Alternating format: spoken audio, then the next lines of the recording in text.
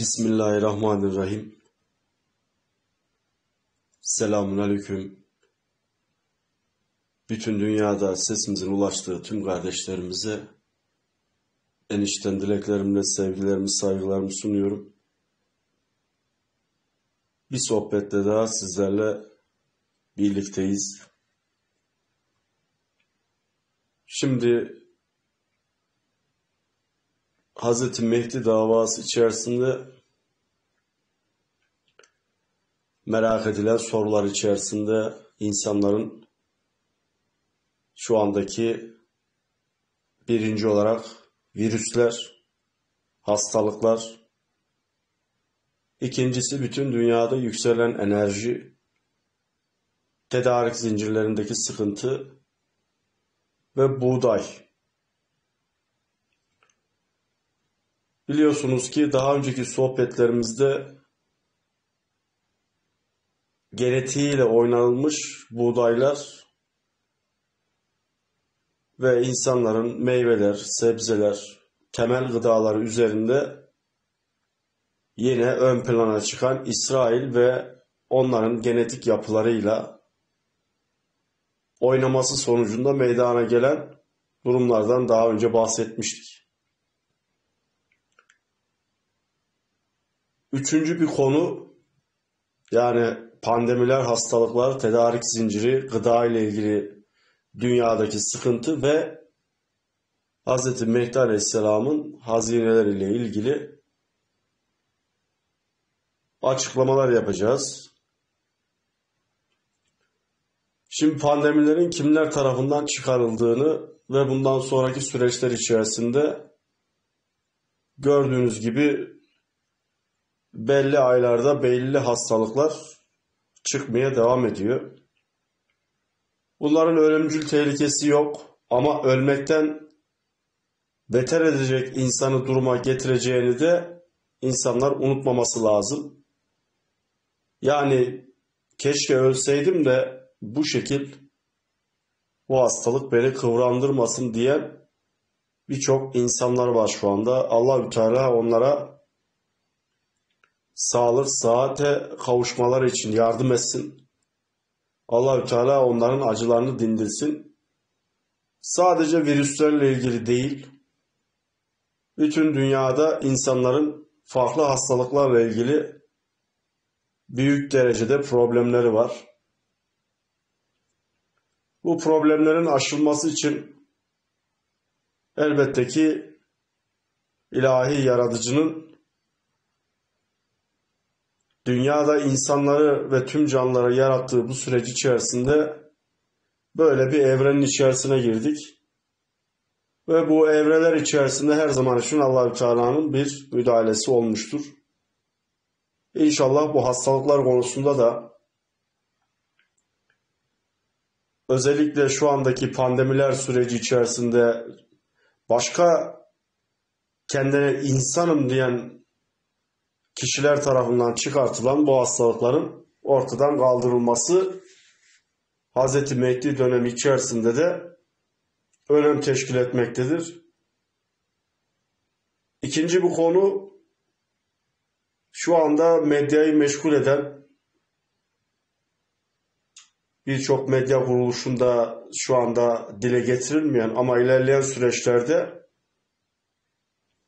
dünyada bir biliyorsunuz ki buğday ambarlarında bir stoklama söz konusu. İşte Musa Aleyhisselam'ın Mısır'da yaptığı gibi yani 7 yıl kuraklık, açlık, depolama Ondan sonraki süreçler içerisinde de o depolamayı kullanma gündeme geliyor bütün dünyada. Anadolu'da, Türkiye'de şu anda 7000 yıllık işte buğday bulunduğu dile getiriliyor. Kromozom sayıları o zamanın zamanına ait olduğu yani şu andaki buğdaydan kat ve kat daha protein oranının veyahut da üzerindeki kromozom sayılarının insanların vitamin alabileceği şekilde Allahü Teala yaratmıştı. Ama bunun yapısıyla oynayarak kromozom sayısını yükselterek insanlara şu anda ekmek olarak veya yediğimiz birçok şu anda tükettiğimiz yiyecekler içerisine katılarak protein değeri yüksek gibi gösterilerek insanların aslında hiç de protein almadıklarını gördük. Ve bunlar sonucunda da insanların hastalıklara kapıldığını ve bu hastalıklar içerisinde de şu anda birileri tarafından üretilen virüslerin etkisiyle birlikte daha da vücut direncinin düştüğünü gördük. Bunların hepsi birbirine birer zincirleme bir bağlantı oluşturuyor. Türkiye'nin birçok yerinde ekin ambarları toprağın altında yani o zamanın zamanındaki kromozom sayısı yani o protein değerini hala muhafaza eden depolanmış buğdaylar mevcut. Ankara ve çevresinde de birçok yerde yerin altında ekin ambarları var. Bunların şu anda yerleri elbette ki içerisinde bir metal barındırmadığı için farklı derecede bir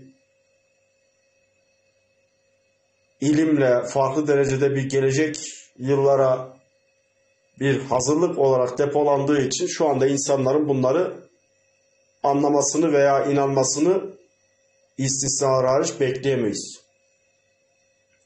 Ama 7000 yıllık Anadolu bölgesinde bulunan buğdayın gerçeklik payı vardır. Orada bir mühendisin bu buğdaydır deyip işte onu bir yerlerde ektikten sonra onun bulunan buğdayın devlete teslim edilmesi ve bunun çoğaltılarak Türkiye'de eğer böyle bir kıtlık sıkıntısı yaşanılırsa bunun kullanılması konusunda devletten söz aldığı söyleniliyor. Şu andaki devletin güvenli ellerindeyse ve İsrail'in veya Amerika'nın eline geçmeyecekse problem yok. Ama onların eline geçecekse geçmiş olsun demek gerekiyor. Bunlar için üzülecek, sıkılacak bir şey yok. Çünkü Türkiye'de 7000 ve 7000'in üzerinde daha önceki medeniyetlere ait olan ambarlar şu anda mevcut. Şu andaki gelişen teknolojiyle birlikte bizim buğday stokladığımız silolar toprak üzerinde yerini almıştır. Bunlar çok uzun süre depolamaya elverişli değildir. İşte geçmiş zamanlarda bu 21. yüzyıl içerisinde insanların bu gibi tedarik zincirinde sıkıntı yaşayacağı Allahü Teala tarafından birilerine bildirilip onun muhafaza ilmi öğretilmişse o zaman endişeye kapılacağımız bir şey yok. Allahü Teala hiç ummadığımız anda, hiç ummadığımız yerden bize rızıkları yerin altından fışkırtacaktır. Yerin altından fışkırttığı bu buğdaylar, stoklar elbette ki rahmetiyle birlikte de birleşerek insanların önüne inşallah sunulacaktır. Allahü Teala çok merhametlidir. O yüzden şu anda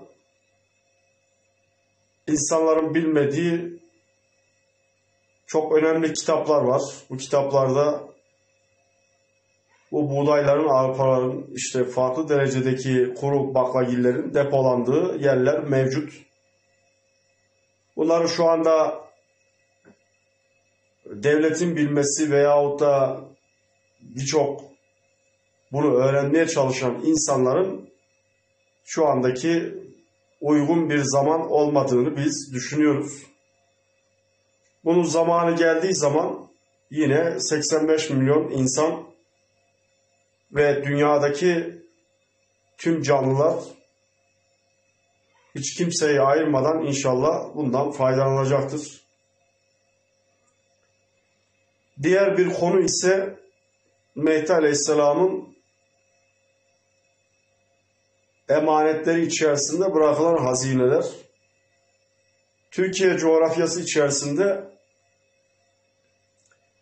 birçok noktada Mehdi Aleyhisselam'ın hazineleri mevcuttur.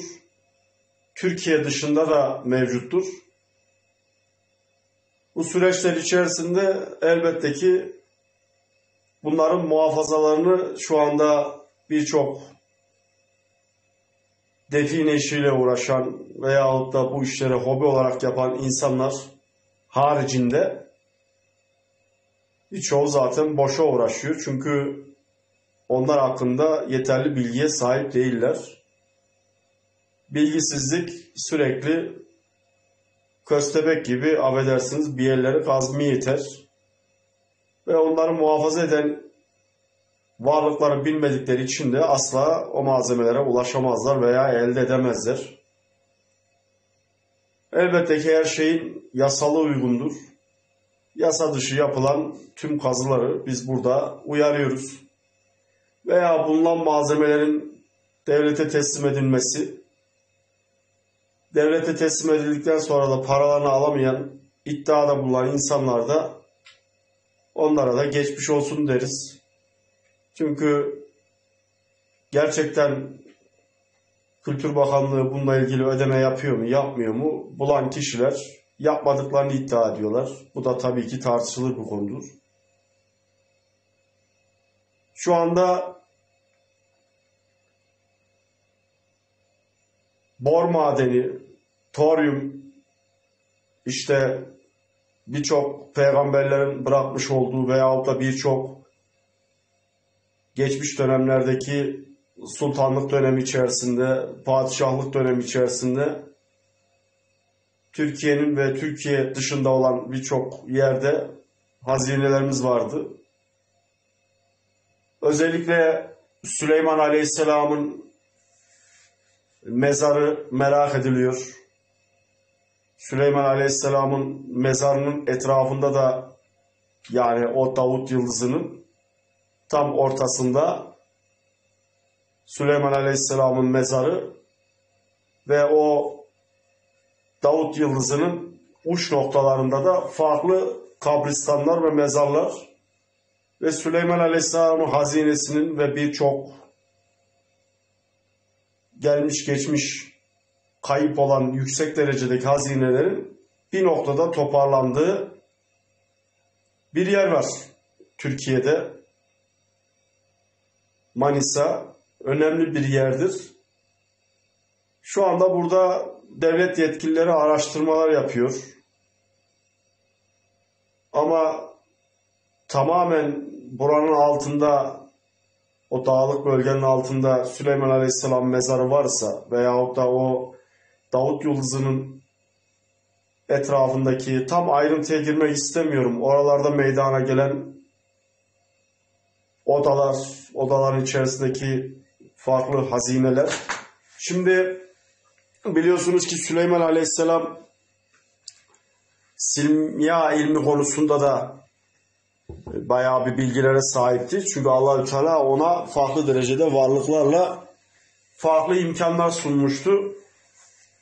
E, simya ilmiyle de yani birçok insanların madde olarak gördüğü birçok şeyi elmasa, yakuza, zümrüte veyahut da farklı derecedeki altınlara dönüştürme simyası da kendisine verilmişti. Ve bunları da şu anda bütün dünyada mesela Kaşıkçı elması dünyanın en büyük elması olarak veya Guinness Rekorlar kitabına girdi veya müzelerde sergileniyor. E, Kaşıkçı altın elması şu anda dünyada öyle görünüyor. Ama Kaşıkçı elmasının nice nice büyükleri Süleyman Aleyhisselam tarafından simya ilmiyle birlikte oluşturulmuş ve yerin altında çıkması bekleniliyor. İşte bu süreçte insanlar bunların yerlerini tahmin etseler de yani gelişmiş teknolojiyle birlikte bunu işte uydu yardımıyla veyahut da ultrasonografi yerin altının resmini çeken farklı farklı makineler var. Bu makinelerin hepsini şahsen bir görmüş birisiyim. Şu anda en son çıkan teknolojiyi bile yakından takip ediyorum. Ama Allahü Teala zaman geçtikçe bunlara gerek olmadığını şüphesiz bize gösterdi. E bunlar da kademe kademe yani meydana geliyor. Ve sonra bu cihazlara yerin altını gösteren teknolojiye sahip dahi olsak veya onları kazabilecek iş makinelerine işte Mobent onu taşıyacak bir tıra sahip dahi olsak yüksek derecede kamyonlar iş makinelerine sahip dahi olsam onları alamayacağını belli bir süre sonra insan öğreniyor. Çevresindeki insanlara bunu sürekli uyaran bir kişi olarak yani burada bir şey var. Cihazlarınız doğru söylüyor. Ama bunu alamazsınız dediğimiz zaman insanlar yanlış anlıyorlar. Anlatıyoruz. Bunlar sadece metafizik alem içerisinde cinler tarafından yani korunan hazineler değil. Bunlar rahmani varlıklar tarafından da yani bir emanet bırakılmış. Onlar tarafından da korunuyor. Bazıları bunlara tılsım falan diyor. Yani bu aslında çok kapsamlı bir konu. Yani bu konuya tamamen çözmüş durumdayız, vakıfız. Anlatıyoruz. Yani bir köy ağası bir tane yani zikke para bulmadan köyünü kaybetmiş. Bunları duymuşsunuzdur. Veya çok zengin olan insanlarla ben tanıştım. Bir çöp bulamadan her şeyini kaybetmiş. Yani bu definecilik uğruna harcamış. Definecilikte yani devamlı bulma umudu vardır. O umuda ulaşmak için sürekli gelişen teknolojiyi kullanmak, özellikle bu şarlatan hocaları kullanmak, işte medyumları istisnalar hariç kullanmak işte onlar hüddamlarımız var diyorlar. Koskoca bir yalandır bunlar. İşte cinler bizim tespit ettiğimiz altını kucağına alıp götürüyorlar veya taşıyorlar. Onlar altından besleniyor. Onlar sayıyı bilmiyorlar. Gibi bunun gibi yüzlerce soru soran insanlar oluyor ve tek tek cevapladık. Gittiğimiz seyahatlerimizde. Ve hepsi de dediler ki yani Titanium senin kadar böyle bizi aydınlatan bu bilgileri anlatıp ya biz bu işi vazgeçtik. Yani ben onlara şunu söyledim. Siz belki 20 yıl 30 yıl boyu uğraşırsınız bir çöp bulamazsınız. Ama şurada bir hayvan güden bir çoban otururken değneğini yani şöyle eşelerken otururken hani ya da değneğini bir yere batırdığı zaman gitmesi sonucunda bir ses duyar veya bir küp körü açtığı zaman altınla karşılaşır. Halbuki o hayvanını güdüp akşam evine gitmeyi isteyen birisidir. Ama Allahü Teala ona onu nasip etmiştir. Senin 30 yıl 20 yıl aradığın bir şeyi bulamıyorsun ama o dağda bayırda hayvanlarını güderken buluyor. Bu iş böyle. Bu işe çok yüksek derecede para harcayan insanlar oluyor. Ve onlara şunu söylüyoruz. Yani bunların hepsini cinler korumuyor. Tamam cinler metafizik varlıklar. Yani enerjiyle besleniyorlar. İnsanların besmelesiz girmiş olduğu noktalarda, tuvalette, banyoda, harabelerde, özellikle dere kenarlarında ki ben onların tam nerelerde barındığını net bir şekilde biliyorum. Bizim de seyahatlerimizde mesela gitmemiz gereken yerler olduğu zaman yani yanımızda böyle 4-5 kişiyle gitmiyoruz ki hep tek başımıza gidiyoruz. E bu süreçte yeri geliyor mezarlığa gidiyorsun. E orada da oluyor. Yani metafizik varlıklar. E dağda gidiyorsun, dağda kamp kuruyorsun yine orada da oluyor. Belki başka insanlara görünmeyebilir ama bize görünüyor. Oynamak istiyor. Ama karşısındaki insanın oynanacak birisi olmadığını gördüğü zaman elbette ki geri adım atıyor. Çünkü onlar biliyorlar. Enerjiyle beslenen varlıklar olduğu için. Yeri geliyor bir dere kenarına gitmek zorunda kalıyoruz. Gittiğimiz zaman orada bunların düğünleriyle karşılaşıyoruz. Daha önce de dedik.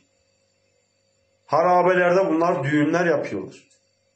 E, dolayısıyla rahatsız edilmek istemiyorlar. E, siz de oraya gittiğiniz zaman rahatsız edildikleri zaman karşı taarruza geçiyorlar.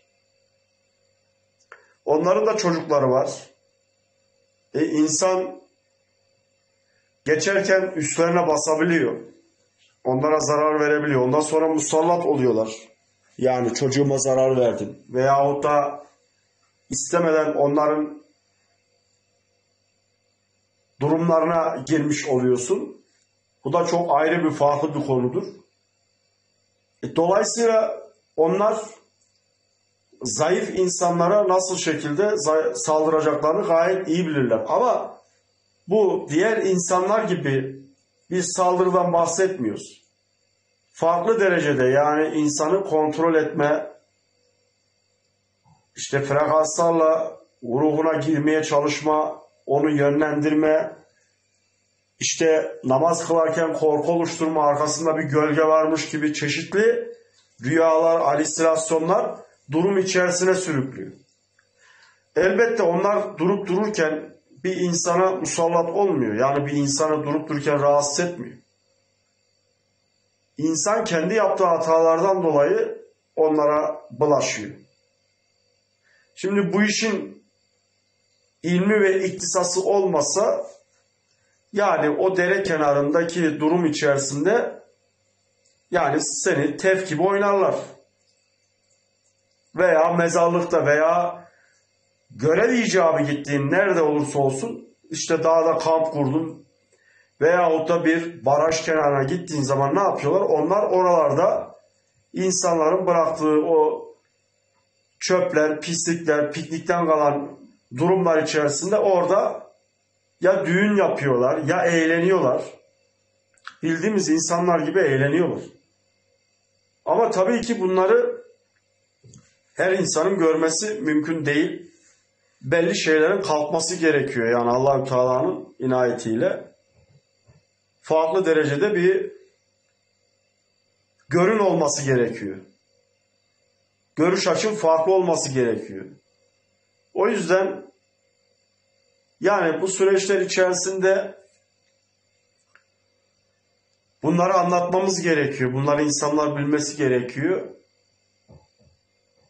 Ve şunu söylemek gerekiyor. Korkan insanlar için. Yani bu metafizik alem içerisinde ve insanların bilmediği şu anda 270'in üzerinde varlık var. Daha insanlar bunlarla henüz yani binde bir insanların tanıştığı yani onlara görünen bir durum içerisinde şunun altını çizmek gerekiyor bizi dinleyen kardeşlerimiz. E tabii ki içinizden bunları yaşayanlar olmuş olabilir. Allahü Teala müsaade etmediği sürece bu varlıkların hiçbirisi insana zarar veremez. İnsanın hayatını etkileyemez.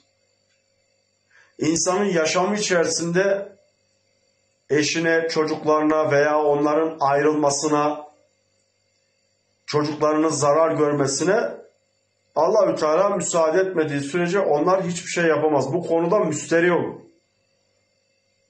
Ama siz kaşınırsanız metafizik alem içerisinde cinler ve kabileler yani onların en üst kademesindeki padişahlarından tutun altına kadar olan durum hemen hemen dünya nüfusundan daha fazla ve kalabalıktır.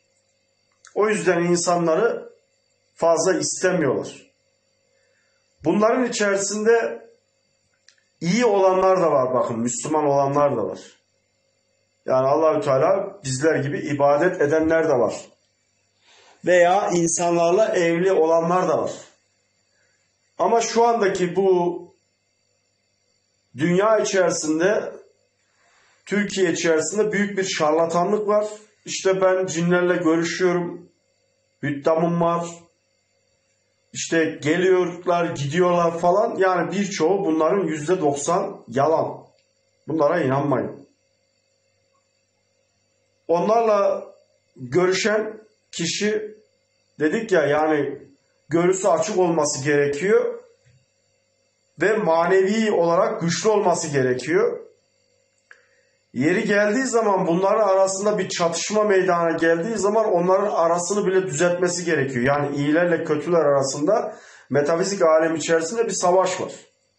Bu savaşta arabulucu olmak gerekiyor. Ve Allahü Teala'nın seçtiği insanlar görev icabı bazen onların arasını bulmak için gidiyor. Yani onların padişahları veyahut da çok eski kavimlerden gelen durumlar içerisinde olanlar bile onların arasını bulamıyor ama Allahü Teala'nın hikmet verdiği, hikmet irkasını giydirdiği birçok insanlar onlarla arasında uzlaşmayı oluşturuyor. Yani bu savaş, ekmek kavgası sadece insanlara veyahut da diğer hayvan canlıları içerisinde olan bir durum değil. Yani bir kurtla bir sırtlanın bir avı yakalayıp bölüşememesi durumu hayvanlar aleminde de var. Şu andaki insanlar alemi içerisinde olduğu gibi yani insanlarda şu anda büyük bir ekmek kavgası var değil mi? Birçok insan bu kavgaya girmiyor. Manevi yönler içerisinde. Allah bana verir diyor, kenara çekiliyor. Ama bir sırtlanla kurt gibi kendini o hayvanlar statüsü içerisine koyan, affedersiniz, insanlar birbiriyle şu anda Türkiye'de yaşanılan durum içerisinde görüyorsunuz sürekli bir savaş var. Ve bu savaşta mazlum olan insanların yani bana Allah rızkımı verir, dünya sizin olsun siz ahiretinizi unutmuşsunuz diyen insanları da hala o çatışmanın içerisine katmaya çalışan kişiler var. Çok önemli altını çizerek bunları dile getiriyorum ki yani şu anda günümüzde bunlar yaşanılıyor. O yüzden Mehdi Aleyhisselam'ın hazinelerine bu durumları anlatarak konuyu nereye getirmek istiyorum buna dikkat etmeniz gerekiyor. Şimdi dünyada Siyonizm, Amerika, İsrail gibi Illuminati, tapınakçılar, Vatikan ve şu andaki Amerika'nın altındaki derin Pentagon, derin devlet ve saire birçok ülke şu andaki kutsal emanetler peşinde koşturuyor. Bunların en tepesinde olan üst akıldan emir alan kişi yani Siyonizm. Siyonizmin başında olan kişi. İşte bunlar da bu sadece Mehdi Aleyhisselam'a bırakılan hazinelerin peşinde değil, kendi emanetlerin peşinde de koşturuyor. Ve Türkiye'de istedikleri gibi kimlikleriyle, farklı derecedeki ülkelerin kimlikleriyle arazilerde uydu yardımıyla veya bu gelişmiş radarlar sayesinde bu hazineleri ve kutsal emanetleri araştırıyorlar. Daha önceki sohbetimizde demiştik ki bunlar bu araştırmaların da yani kendi laboratuvarlarında üretmiş oldukları duvar ötesi veya yerin altını gösteren insanların bilmediği teknolojileri kullanıyorlar. Yani kabal öğretileri ve şeytani sistemler üst akıl onlara görebilecekleri şekilde dizayn oluşturabilecek mühendisleri ne yapmış? Oluşturmuş ve bu cihazları bunlar kullanıyorlar. Gerek araç içindeki donanımda gerekse uydu desteğiyle veyahut da araç içerisinden sökerek arazide gidebilecekleri ki gittikleri bu arazi araçları genelde insanların traktörle veyahut da farklı derecede kepçelerle bile zor ulaştığı noktalara bunlar bu arazi araçlarıyla çıkıyorlar. Amaç burada altın, zümrüt veyahut da farklı derecedeki şu an dünyada zenginliği temsili olan bu saydığımız değerli elementlerin peşinde koşturmuyorlar. Onlar bırakılan kutsal emanetlerin peşindedir. Özellikle bu işte şunu da söylemek gerekiyor. Tapınakçılar bu işte uzmanlaşmış ve şu anda kutsal emanetlerin araştırılmasında ve bulunmasında ve Vatikan'a teslim edilmesinde bunun Siyonizme ulaştırılmasında çok etkin rol oynuyorlar. Şimdi tapınakçılar aşamadıkları bir noktayla karşı karşıyalar. Yani bırakılan bir emanet bir harita oluşturulmuş Türkiye'deki işte petrol yatakları, elmas yatakları, işte zümrüt, altın yatakları, bor madeni ve toryum gibi ve Türkiye'de insanların bilmediği elementler de mevcut. Bunların tespitleri elbette ki yapılıyor. Bir haritalandırma durumu oluşturuluyor. Ondan sonraki süreç içerisinde bunların çıkartılması konusunda içindeki kutsal emanet durumuna göre çıkartıyorlar. Yani bunların bunları çıkartmak gibi bir derdi yok. Böyle bir paraya da ihtiyaçları yok. Çünkü her türlü donanım ve imkana sahiptir. İşte fazla mal göz mü çıkaracak? İşin boyutu öyle değil işte. O boyutu anlatacağız size. Şunu da söylemek gerekiyor. Bunu Türkiye'de hiç duymamışsınızdır. Şimdi tapınakçılarla bizim bir işimiz oldu. Bu kutsal emanetlerin araştırılması konusunda 3 ay gibi bir süre onlarla itibat kurduk. O süreç içerisinde onların ne olduğunu net bir şekilde öğrendik. Yani onlarla birlikte hareket ederek bir şeyler çıkartılması değil. Sistem nedir? Nasıl bir sistemde çalışıyor? Nasıl bir teknoloji kullanılıyor?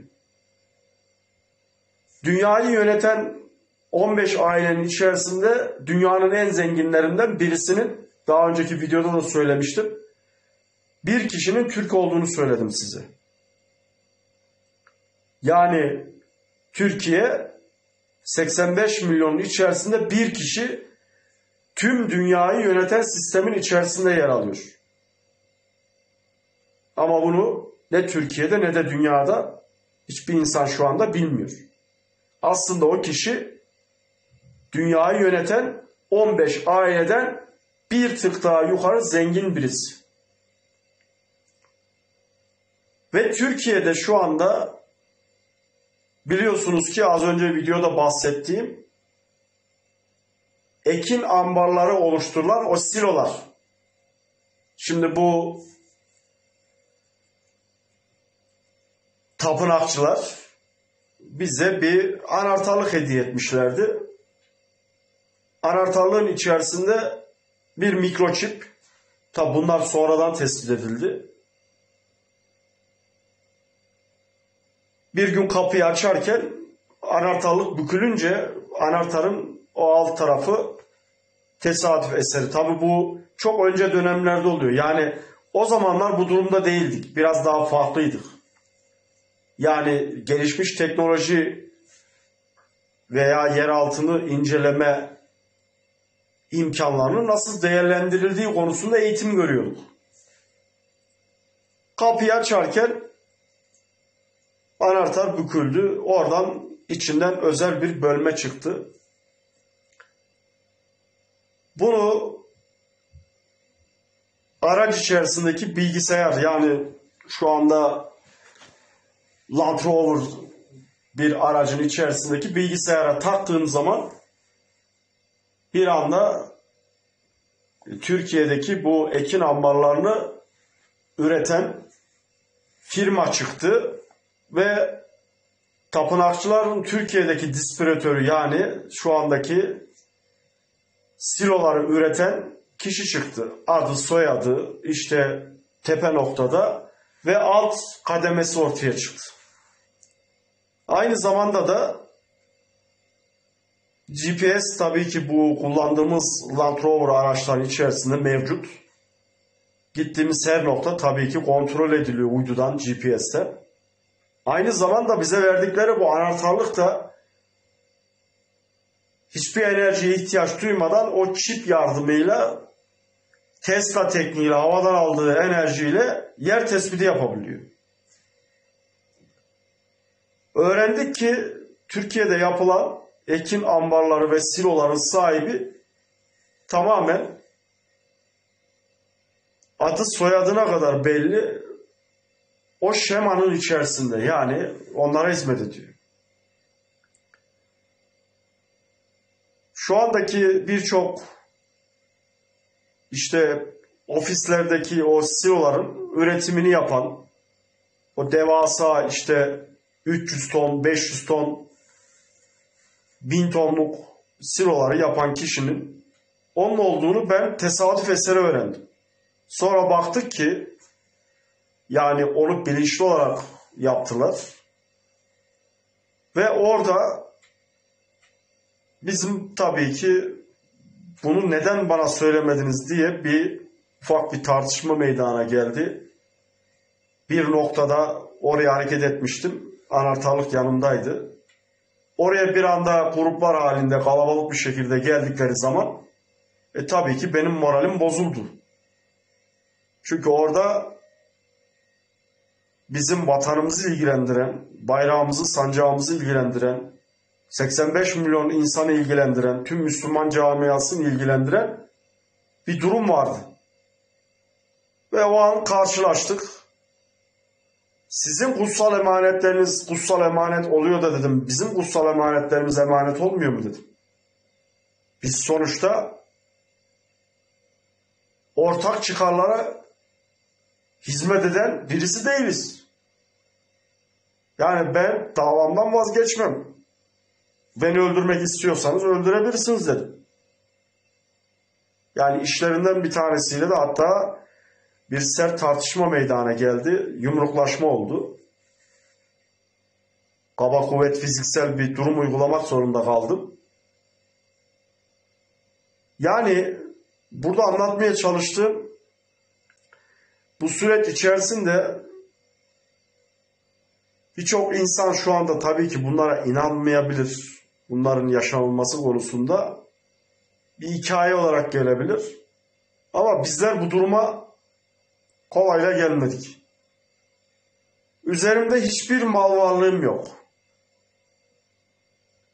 Kendime ait bir tapulu bir evim yok. Bir tane videoda gördüğünüz aracım var üstüme. Eğer ben bu insanlara teslim olsaydım yani şu anda İstanbul'un veya Ankara'nın en lüks semtinde oturuyorum birisi olacaktım titanyum inşa olarak. Dünyanın en pahalı arabalarına biniyor olacaktım. Ama Allahü Teala'nın bana verdikleri geri alınacaktı. Ben madde formunun içerisine sıkışmış, dünyada ne olursa olsun benim umurumda değil diyenlerden olacaktı. O yüzden ben bunu tercih etmedim. Ben bu Allahü Teala'nın yaratmış olduğu insanlar ve canlılara insanlık olarak görevini yapmak isteyen birisi olarak yola çıktım. Ne vatanımı, ne bayrağımı, ne sancağımı, ne imanımı, ne Kur'an'ımı, ne peygamberlerimi, ne Allah dostlarımı, ne de hiçbir insanı ben satmadım. Ama beni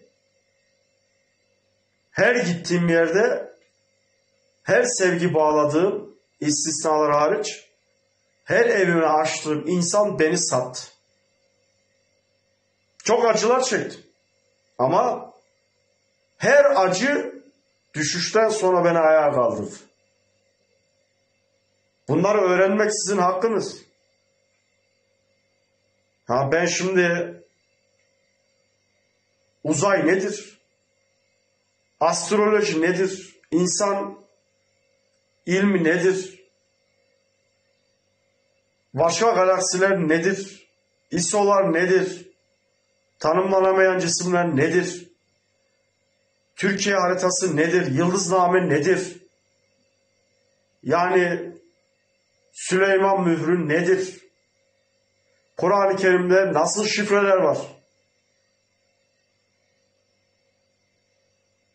270 tane dünyaya ait olan yani insanların içinde yaşayan varlıklar nedir?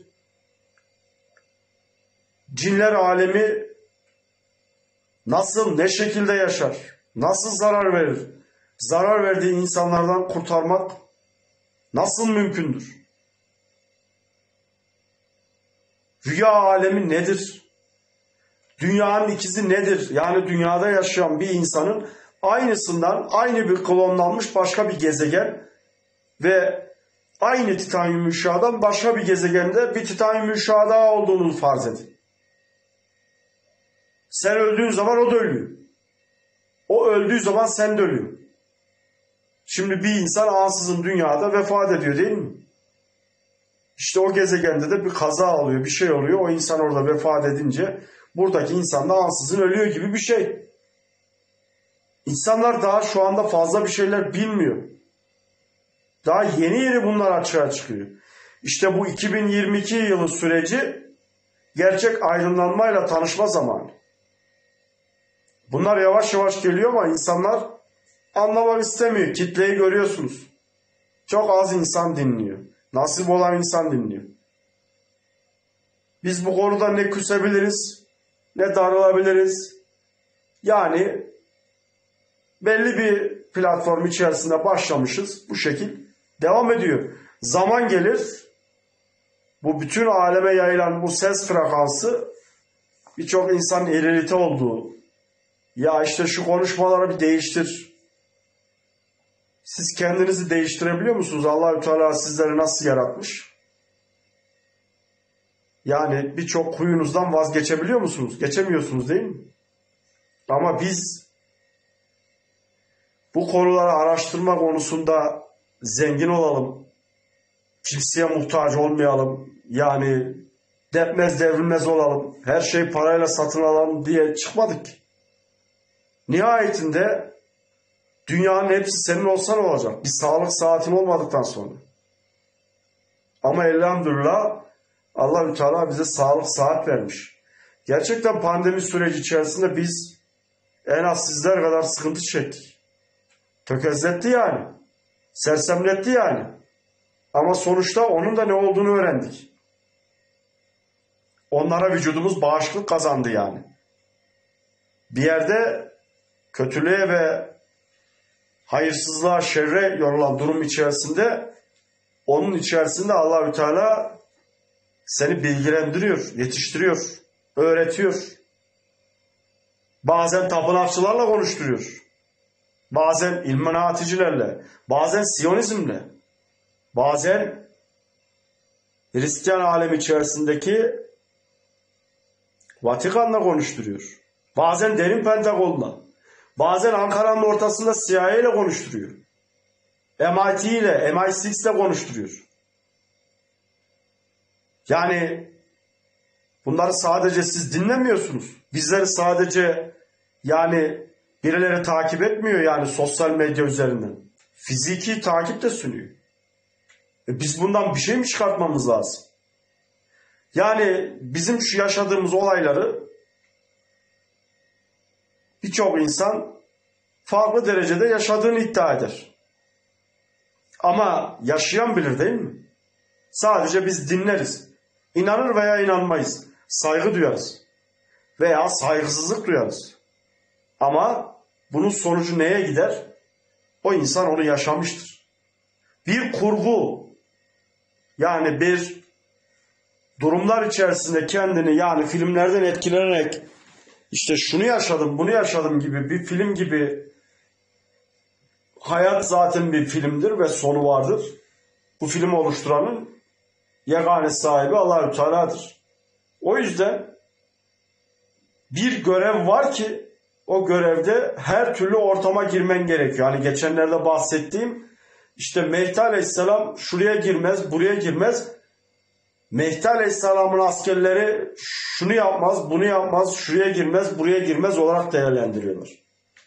Eğer biz Allahü Teala için hizmet ediyorsak Allahü Teala bizi her noktada pişirmem, pişirilmemiz için o hamlığın üzerine atılması için her noktaya bizi ne yapıyor? Götürüyor. Sürüklüyor yani. Bu senin elinde olan bir şey değil. O yüzden bütün bu süreçler içerisinde ben bana sunulan bütün imkanları elimin tersiyle ettim. Bunu yani benimle canlı olarak yüz yüze konuşan, bu kanalı takip eden gerek Ankara'da gerekse yurt dışında veya Türkiye'nin içerisinde birçok insan var. Onlara da anlattım. Ama tabii ki bu şekilde ayrıntı olarak değil. Onların anlayacağı şekilde anlattım. Allahü Teala yalanı sevmez. Kibirli insanı, yalancı insanı sevmez. Kul hakkıyla giden insanı Allahü Teala affetmez. O yüzden bu süreç içerisinde yani Karun hazineler olsa hak etmediğim bir şeye ben elimi uzatmadım. Uzatmam da. Allah'a çok şükür çalışıyorum. Ayaklarımın altı su topluyor. Yani 13 saat ayakta çalışan birisiyim. Beni yakından tanıyan insanlar da zaten bu kanalda takip eden insanlar biliyorlar. Şahsen konuşmuş olan insanlar gelip gördüler. Yani şükür eve yorgun geliyorum. Ellerim bazen eldiven kullandığım halde yara bere oluyor. Çünkü bir sanatla uğraşıyorum ben. İnsanların evde kullandığı araçları üretiyoruz. O yüzden yani bacaklarım şişiyor ama Allahü Teala bu sohbeti sizlerle yaptıktan sonra benim bütün yorgunluğum geçiyor. Çünkü Allahü Teala'nın rızası için yapıyorum. O yüzden kimse tasalanmasın, üzülmesin. Hep önceki sohbetlerde de böyle diyorum. Samimi olmak gerekiyor. Dürüst bir şekilde anlatmak gerekiyor. İnsanlar sizi satabilirler.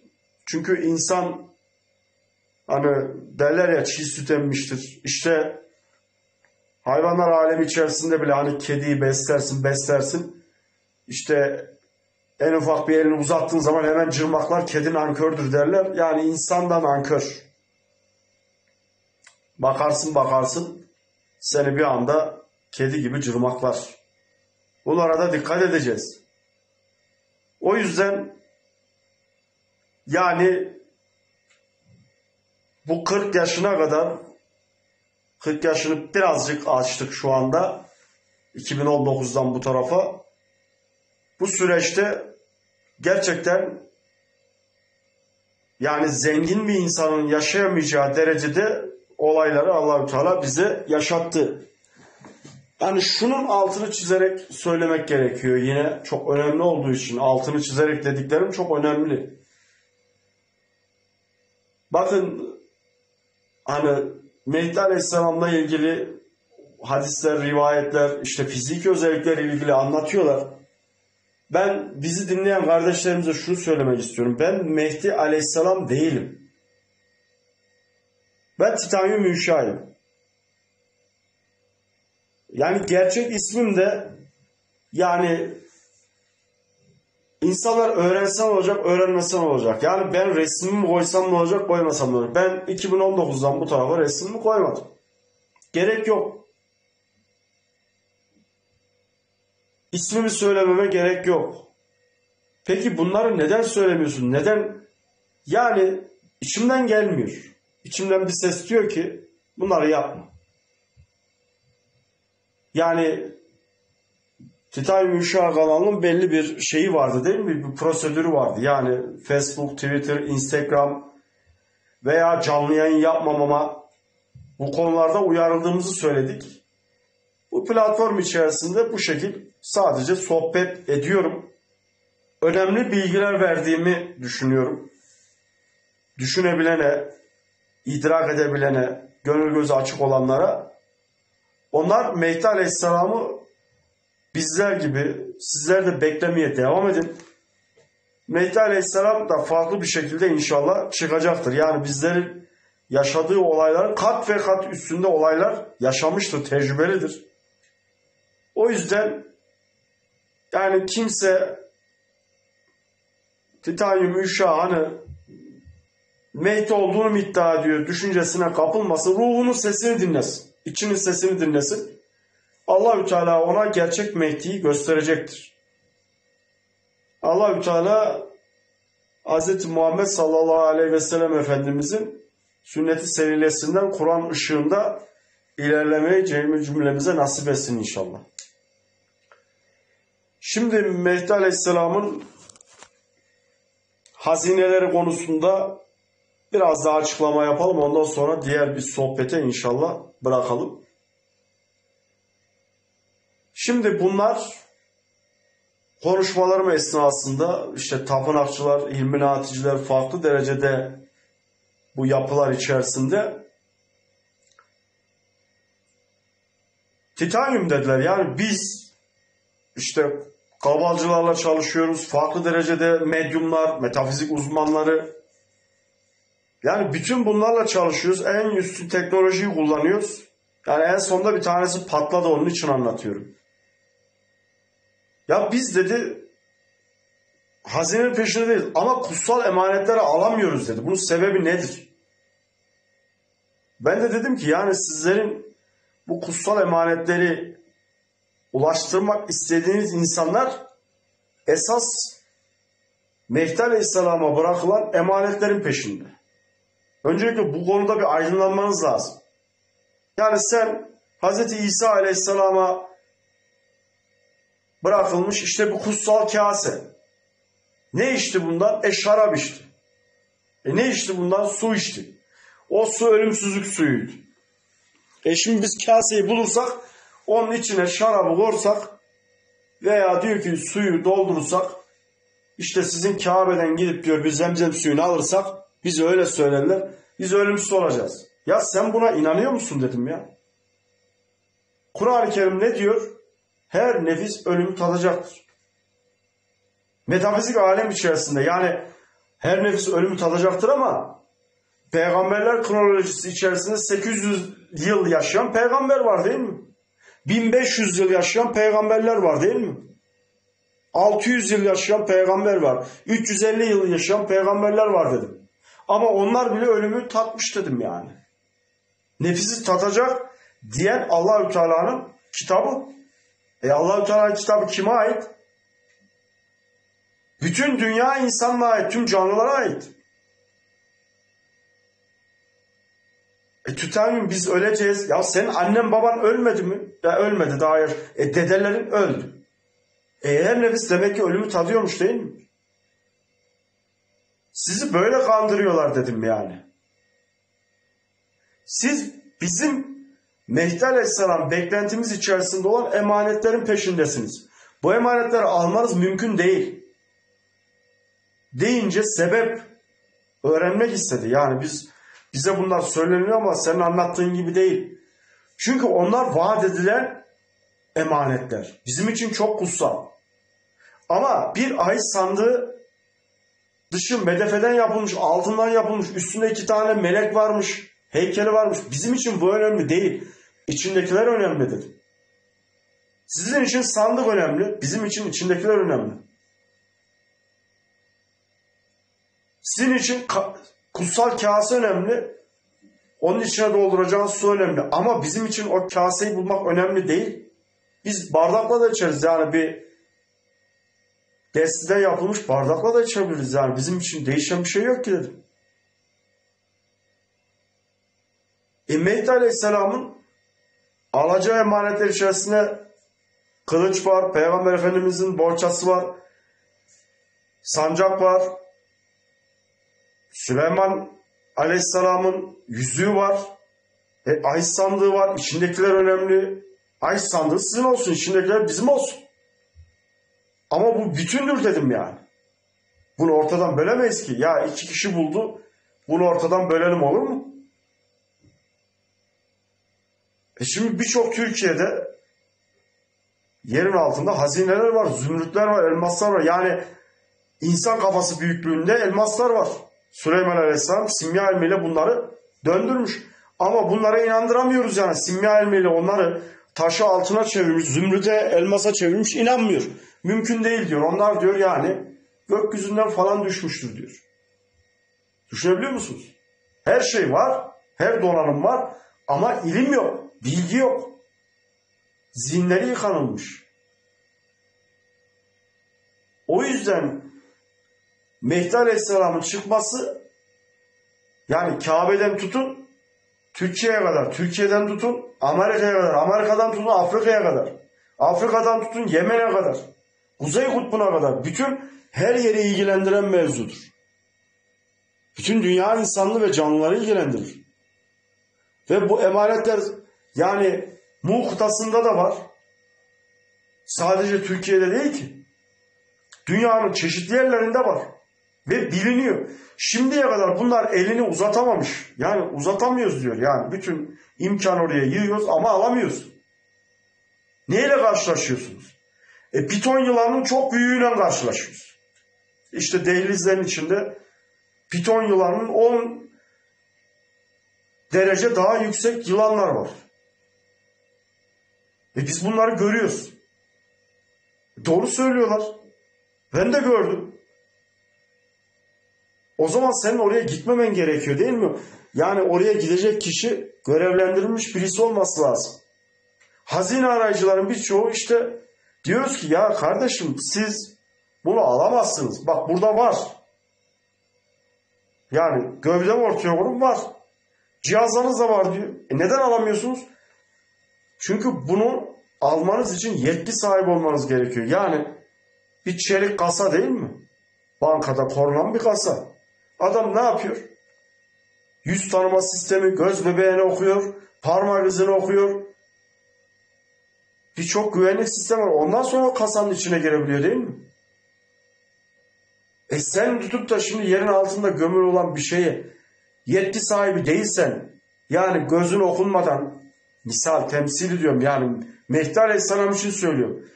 Göz bebeğin okunmadan, parmak izin okunmadan, işaretlerin okunmadan, yüz tanıma sistemi yapmadan sen nasıl gidip onu yetki sahibin deyip alabileceksin? Alamazsın ki.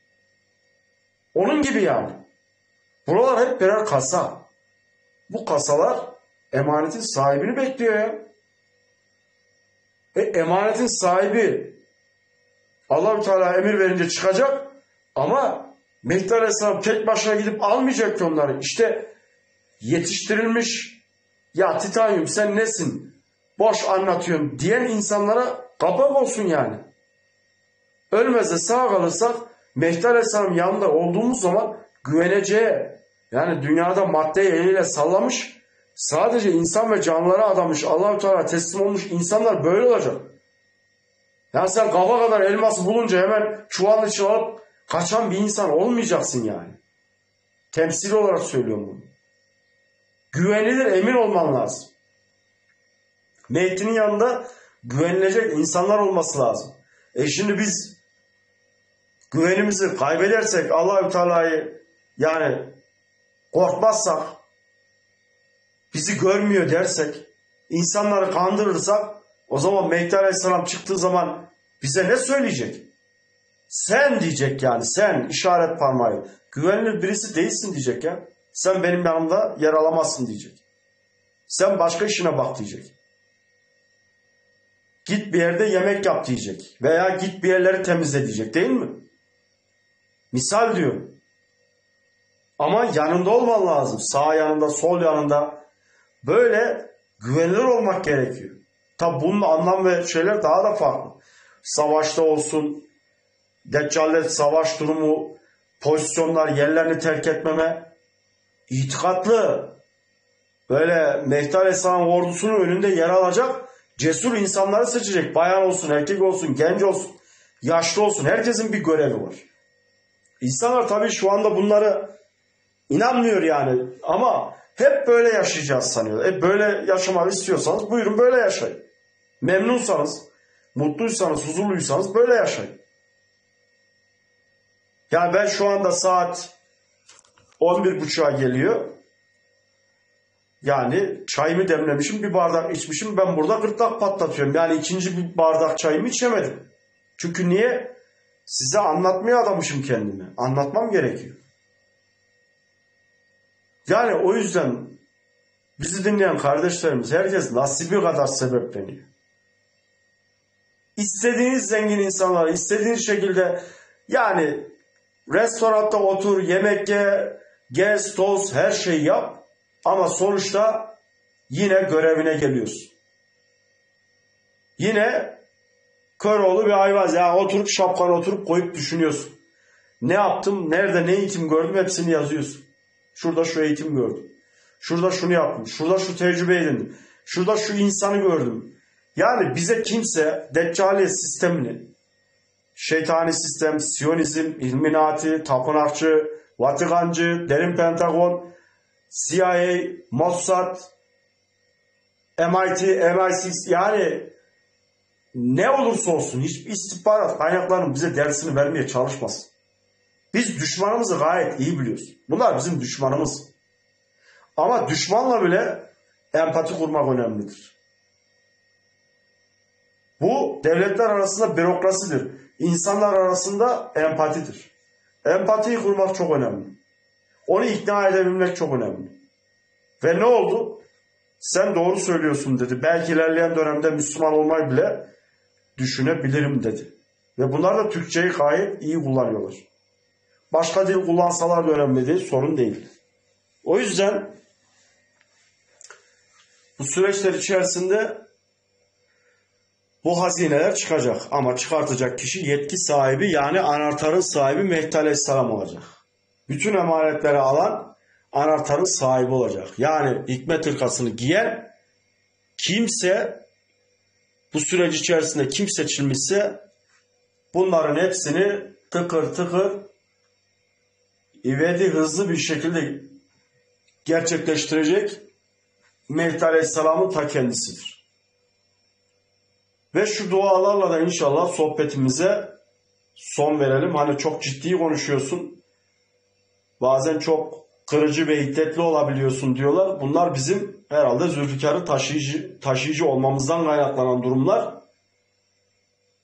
Şu duamızı da yapalım ondan sonra inşallah çayımızı içerek geceye doğru görevimize doğru inşallah akalım. Ben sabah gidip akşam gelen bir insanım ama dediğim gibi 1-2 saat uykuyla duran birisiyim. Yani bazen bir saat bile uyuyamadığım zamanlar oluyor. Çünkü devamlı meşgulüm. Allahü Teala belli bir süreden sonra vücudu alıştırıyor. Yani buradan başka bir yere, oradan başka bir yere geçmeler icap ediyor.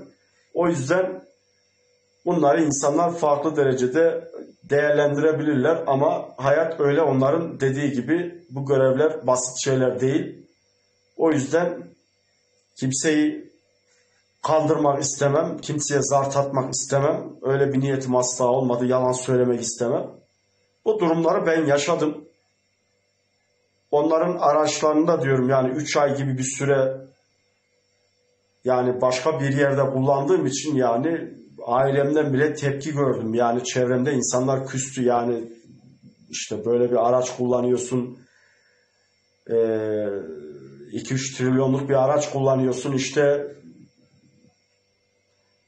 bizi kandırıyorsun işte yani bize şu evi alıver, şu arsayı alıver gibi şeyler oldu. Yani dedim ki ben görev icabı, ben bunu bitirdikten sonra benim değil falan desem de yani çok insanı da etrafında bu şekil yaklaşanlar olduğu gibi kaybettiğim insanlar da oldu. Hala da o insanların gönlünü almaya çalışıyorum, inandırmaya çalışıyorum ama bir türlü inanmıyorlar. Yani benim dünyada üstüme kayıtlı bir param, yurt dışında param veya Türkiye'de bankada param yok. Bir şeyim yok yani.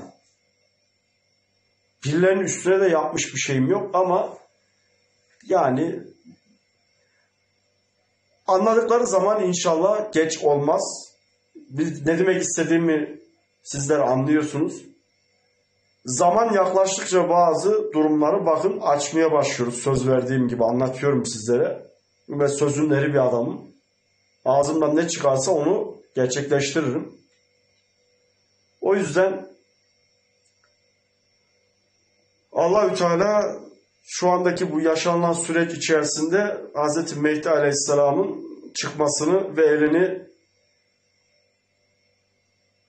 şehadet parmağını havaya kaldırarak üç sefer şehadet getirerek bu aziz vatanın ve tüm Müslüman aleminin yaşamış olduğu zulmü Firavunların tarafından uygulanan, Siyonizm tarafından uygulanan ve onun etrafındaki deccaliyet sistemi tarafından uygulanan bütün zulümlerin son bulması tek temennimizdir.